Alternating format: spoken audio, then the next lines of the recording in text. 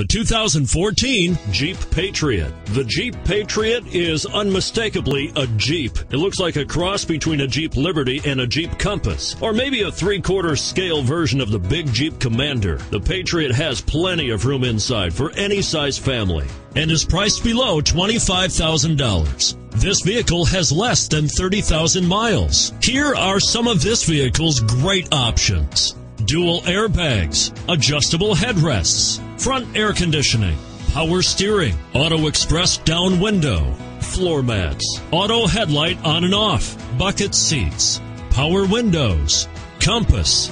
If affordable style and reliability are what you're looking for, this vehicle couldn't be more perfect. Drive it today.